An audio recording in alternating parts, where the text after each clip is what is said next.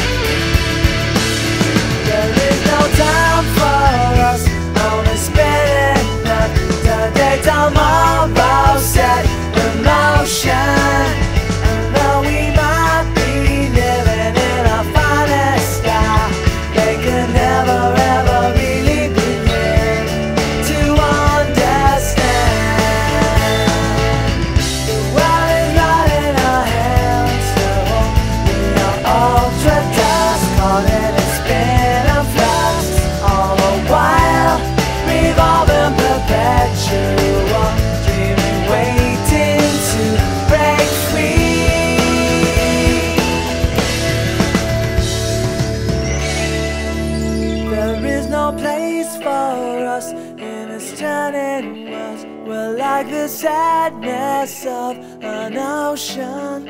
We're both our nearest waves, and the farthest shores, and they'll never.